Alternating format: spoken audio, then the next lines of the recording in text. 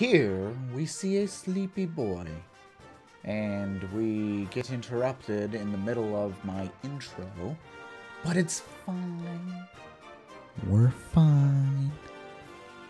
It's all fine. We don't want to wake the sleepy boy. Wait a minute. Yeah, we do. We can't progress if we can't wake up, so Snorlax, wakey, wakey, sleepyhead is just all like, oh. what is up, my turtles? My name is Jimmy, also known as Jimmy Tortuga, and welcome back to the Pokemon Y RegionLocke. I hope you guys are enjoying this series. Remember to hit that like button, subscribe to the channel if you're new, and uh, let's get into it. Oh, it's you two. Did you actually manage to borrow the Poke Flute? Yeah, we did, 100%. Ymmij handed over the Poke Flute. Thanks. Well, you're the one, uh, only one who can play it, right? Snorlax can be grumpy uh, when it wakes up. It might attack. I'll play the Poke uh, Flute right now, but are you ready to stop it? Sure. Because why not? We healed at the end of the last episode. It's fine. This is beautiful music, by the way. I, I uh, Snorlax opened its uh, wise uh, eyes wide. He looks pretty sleepy, dude. He looks pretty sleepy. Oh gosh, Snorlax attacked. Oh no, Snorlax. This is good. This is good, boy. It's too bad I can't actually use this thing. Otherwise, I totally would. Level 15 is actually kind of scary, so we're going to use some Fairy Wind. I know Snorlax is pretty bulky. Uh, let's see how much tackle does. Oh, that does half. No bueno. All right. Well, let's uh, let's uh, check some summary here and whatnot. We got a defense of 19, so that's part of the reason why we didn't uh, take that very well. Um, Fox has the best. Uh, Fox has the best uh, defense, so we're gonna, we're gonna switch into Fox because we don't we don't want that. And the potential of it uh, tackling and getting burned is actually really really good. Def increases tremendously, so we're gonna we're gonna use the stab move of Peck. Does a decent amount of damage, which is good. It's a lot of damage. So yeah, I hope you guys are enjoying the series. I'm, I'm uh, really enjoying the skits at the beginning here. Um, Snorlax apparently had a berry, which kind of lagged the game out, which is always fun. Uses tackle. Um, getting burned would be great. Of course, I don't get the burn, but that's fine. Um, but yeah, level 15 Snorlax, this is why we have the experience share on. But we've done a pretty good job uh, so far at not uh, losing any members. We got pretty close with Kermit the one time. Um, but nothing too, too, too crazy. Of course, you get the para. Of course you would. You know, why wouldn't you get the para? and then I'm fully paralyzed. I hate RNG, man. I hate it. It's so wooed. Can you, like, actually get burned? You know, that would be really, really good. Alright, Snorlax is fainted. And Rachel grows to level 19, which is what we want to see. Kermit growing to level 21. Pokemon being Pokemon. Hey, Rachel is evolving! Our first evolution in quite a while here. Let's see Rachel's evolution here, which is very, very cool. Awesome, awesome, awesome. Long evolution animation. I remember this so well in the older generations here. Oh my gosh, look at it! Floette. Okay, so not Flabebe anymore is Floette. But still Rachel. Very, very nice. Very, very good. Snorlax fled towards the mo mountains. I wonder where Snorlax went. Think I'll, uh, think it'll come back to sleep here? Growth. Hello? Oh, hi. Oh, the only thing I can do uh, do with that Poke Flute is put it on display, but you've been playing it since you were little, and the tone is lovely. It also seems my Fru-Fru likes the sound of that flute. Not as much as my beautiful uh, Wonder Fru. Uh, fireworks, of course. Uh, yeah, I guess so. Still, your playing sounded better back in the day. Uh, I'll let you take care of that flute, so be sure to practice some more. Oh, I don't have to return it, so that's cool. Okay, bye. Doesn't even say thank you or anything. Was that supposed to be an attempt to patch things up? Well, whatever. All's well that ends well. I wonder where, uh, what lies past where Snorlax was sleeping. I don't know. We'll find out in a little bit because I gotta go heal because I got paralyzed. uh, it was funny. oh, goodness. Okay, okay, okay. So, trying to think of a question of the day for for you, my viewer, viewers, my turtles. Um, trying to trying to think of a good one. Um, that that would be Pokemon gener uh, generation uh, related. You know, I've heard a lot of people say, you know, what is your favorite, you know, city or town in any Pokemon game? Was there any route? Like, what was your favorite route in any Pokemon game? That's a that's a that's one to make you think, right? That's definitely one to make you think. I don't I don't know. It's like uh, we'll we'll have to we'll definitely have to give that some serious thought. Um, but yeah, what is your favorite Pokemon route? Like, what was the most memorable route in uh, maybe any Pokemon game that you played? So, I'm trying to actually think of that answer myself here. Um, I don't know. I'd have to think about that a little bit more. Honestly, I think, uh, I'm trying to remember exactly what route, but it was like Route 24 or 22, whatever the route was right before Victory Road in Johto, heading back into Kanto,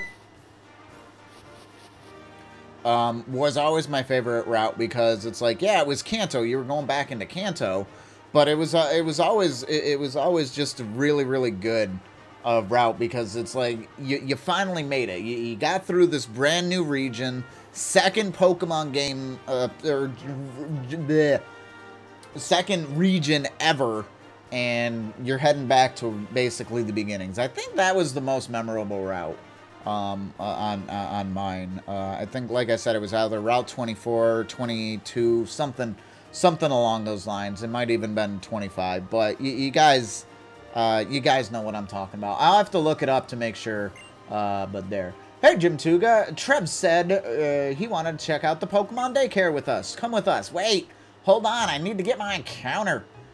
Bruh. This is the Pokemon daycare. They take care of your Pokemon here. Yes, indeed. You can leave up to two Pokemon here at once. I seem to remember something good can happen if you leave two Pokemon here. That's right, sometimes we'll find a new addition, like an egg. If you carry the egg around, a Pokemon will emerge from it. Wow, a Pokemon will come out? Maybe I'll leave some Pokemon here. Having the same Pokemon with the same moves might step up my dance. How about you, Jim Tuga? Um, I'm gonna do some some other time. There aren't many Pokemon I want to raise. Uh, I'll try it on some other occasion. That's one way to look at it. I'm gonna go look for some Pokemon for my dance team. Hey, Tierno, wait up! Alright, so if I wanted to use the daycare, I could. There's really no reason for me to. Uh, so yeah. He's legit looking for Pokemon, too. That's actually pretty funny.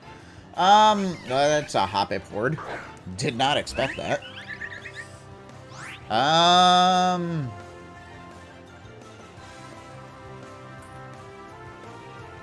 Shaking areas, and then of course we get hordes. Okay, cool, cool, cool. I see it.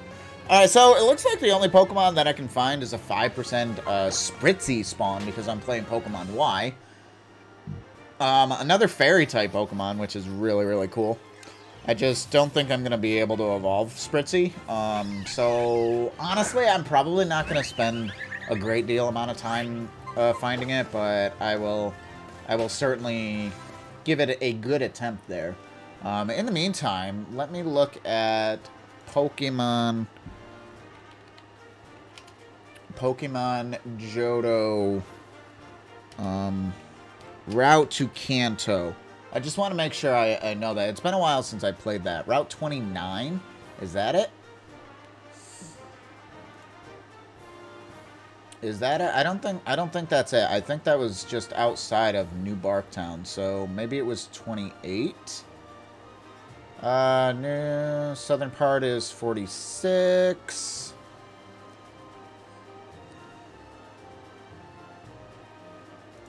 So then we got Kanto. like I said, I forget what the what the route is to, to like I said to the to the right of New Barktown. Um, but that that would probably be my uh, like I said my probably most memorable route. I don't know if I necessarily have a favorite route. Hey, I found the Spritzee. That was actually pretty quick. Um, but yeah, I don't know if I necessarily have a favorite route. But that definitely is a uh, memorable route for me anyway. We're gonna get double fairy winded. Yeah, we're not gonna we're not gonna get a. Actually, fairies are kind of neutral to each other. That's that's uh, pretty cool. Odor sleuth, odor sleuth. So yeah, okay. So anyway, we got our Spritzee, which is really, really cool. We're going to use a Pokeball. Actually, you know what? Uh, before I move any further after I catch this thing, I'm just going to restock up on items. Um, I'm sure you guys understand that because we definitely need to make sure that we don't do anything stupid because it'd be bad. It would be very, very bad. Bouncer grows to level 19, which is pretty, pretty dope. Um, and then we have Spritzee, the new fairy-type Pokemon, which is really cool. Um, so yeah, that's I think that's all I gotta say about. I think anybody who played the Generation 2 games know exactly what I'm talking about with that route. Um, so that that would be my most memorable one. Um, I know I probably said that like 30, 40, 50 times because I, I know how to repeat myself. Um, so yeah. Um, Oh, Trevor came to mind. This is Trevor, uh, the Trevor the Spritzee, which is cool. This is fantastic. All right. So this looks like it's the only generation um, six Pokemon besides some Flabébés, but we already have that. Uh, we have a Floette now, which is really, really cool. Um, but I'm going to come back, heal a little bit really, really quickly stock up on some items, and then we will continue on the route, because that's what we do. That's what we have to do, because we can. Alright, what do you got for me, my friend? Uh, I need some more... Um, I need great balls, actually. That would be that would be really, really cool to get. We'll get 10 great balls. Please and thank you. Um, and then we'll use the rest of our money for some super potions. Cool. So now we have now we have potions and stocked up items and all of that fun stuff. We're gonna go ahead. Whoops. We're gonna go ahead also and save just because we haven't saved in a while, um, which is very very epic. So cool. I'm I'm excited. I'm excited to maneuver on and continue on my journey. So we got to get past Route 7 here. I'm not 100% sure what else would be here in this route. There's Tierno. Just kind of exploring. We got the purple flowers, which is cool. Um, this guy is painting. And wants to battle. Okay, I was going to say, I'm kind of hopeful that uh, Georgia here wanted to, to battle. Uses a Smeargle, which is actually really, really cool. Um, you don't see you don't see Smeargles, but we get our first look at uh, at Floette here uh, in battle. It uses, what was that, Vine Whip? Oh, okay, and that's that's kind of cool. Using that Fairy Wind very, very effectively, um, did probably about 45%, maybe a little little more. Uh, not exactly 50, otherwise we'd be able to two-shot it. It's a three-shot. But we'll be able to take out the Smeargle really quickly. These levels are starting to catch up to us, and I know the uh, the next gym, I think the, the trainers have level 25 Pokemon as the highest. I think the gym leader has level 25, so I'm keeping that in mind. I don't want to over-level, but at the same time, we need to make sure that we, uh, you know, we don't we don't die either. So yeah, looks like this is going to be a double battle. So um, th these are always fun. Some more painters. Both of them are Smeargles. That's kind of scary. I'm gonna take down. I'm gonna. I'm gonna focus my attacks on one. Um, both of them are a level 16. That's that's actually really really scary. Um, and because of that, I'm gonna use tackle and not takedown. I really don't want to deal with. Uh... Oh, that's super effective. I don't want to. I, I, don't necessarily want to deal with um, both of them. Alright, well, I'm glad I took that one down because that one had Metal Claw, which is a steel move, and Fairy is weak to steel, so no. No. No. Level 19 for Xander and Carla, um, which is cool. I'm going to use... Um, uh, potion does 20, get it to 42, that's fine. Um, and then Bouncer will use Tackle on the other Smeargle. So let's go ahead and use that potion, make sure Rachel does not go down. And then we're going to tackle the Smeargle. Does about half. Confusion. Hits the hits Bouncer, as long as we don't get confused, which we did. Um, which kind of sucks, to be honest. Fairy Wind into the Smeargle. We're going to try to tackle it. Hopefully we don't hit ourselves. It tries to use Helping Hand, which isn't going to do anything. We hit ourselves, which kind of sucks, honestly. Fairy Wind, though, does indeed knock it out. Okay, so that's that's cool. So, and do some, some thinking on that one. Rachel growing to level 20. Wants to learn the move Wish. Hmm, let's see what we got. We got Lucky Chant. I haven't used Lucky Chant at all. Let's use Wish. Wish is a good is a good move to have. Cool, cool, cool. And Fox has grown to level 32. That's uh, or 32. Yo. Uh, 22. So we we managed to beat both of these trainers here. Wait, where are you going? Hey, hey, hey, hey, hey. Oh, what's this? Oh, this is cool. This is really cool. Image, do you know about this building? It's called the uh, it's called the Battle Cheeto. Cheeto? Okay. And it's famous for place where trainers can gather and prove their skills. If I learn even more about Pokemon, I'm sure I'll be able to defeat the Kalos's eight gym leaders. Okay, so this is where we go. Show your strength with the title. Um, I actually don't know if I can really do anything in here.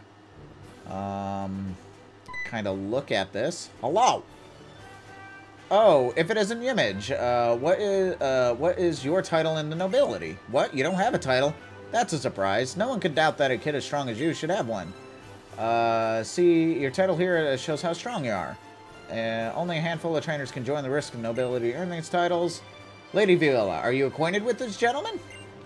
Ah, I see you carry the bug badge, young sir. It appears that Lady Viola has recognized your ability as a trainer, then. It is pleased to meet you, my lord. My name is Hennessy. Might I ask your name? Sir Ymmij. A fine name. Yo, thank you. I will gladly recommend Ymmij, so will you grant him a beginning title? He has the makings of a very strong trainer, so I'm sure he'll be uh, I'm sure he will contribute to the uh, battle Chito. Of course, ma'am. If you're willing to speak for him, Lady Viola, that is more than sufficient. And besides, I, too, sense an extraordinary potential emanating from young Sir Ymmij. Title of Baron. I have the title Baron, which is cool. I don't think I'm actually going to do much of anything in this here, so I'm just going to uh, go through the rest of this. Um, we are now going to take leave, and then I think we can kind of go back and forth. Let's have a battle if we have a chance, which is really cool. So I can do I can do some things uh, here as well, but I think my biggest thing is that I want... All the, first of all, all these Smeargles to go away. But I, I just want to continue on with the game. I don't, I mean, maybe we might, uh, I, I don't know, maybe a question of the day too. Do you want to see me do, uh, do the, the battle thing? I, I don't know. Uh, let me know if you guys want to see me uh, see me do those battles. You know, we'll make that a question of the day too. I don't typically do those, but we'll make that a, a, question of the day too. So let me know. I will try that for uh, Tuesday's episode uh, if that receives some positive vibes. Because today is Thursday. It's Monday when I'm recording this, but it's Thursday for everybody watching this video. Alright, cool. Um, Rachel needs some healing, plus I need to uh, probably switch out Pokemon anyway to make sure that we're getting the balance that we deserve here. Rachel, of course, doing some good things. Fox, gaining those levels, man. Gaining those levels. I knew Fox was going to be a really good one. Hey, it's Serena! How you doing? It's good to see you. Uh, if you don't mind, I'd like to have a Pokemon battle with everyone. Uh, how should we pair up? Hmm. Let's go with Tierno and Trevor against Jim Tuga and me. Uh, hold, hold on.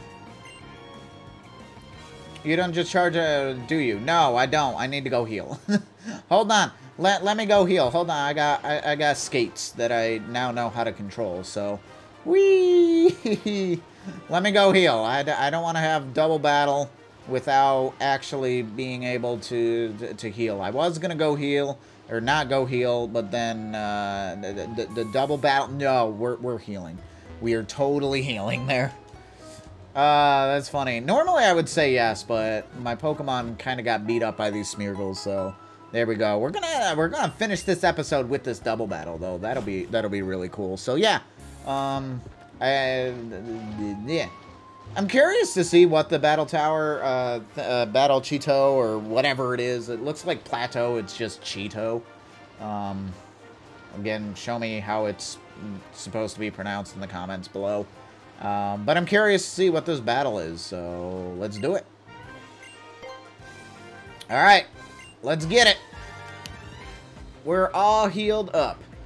Pokemon Trainer Tierno and a Pokemon Trainer Trevor. Corphish and Pikachu. Ooh. Alright, so I uh, Bouncer and a Fletchling.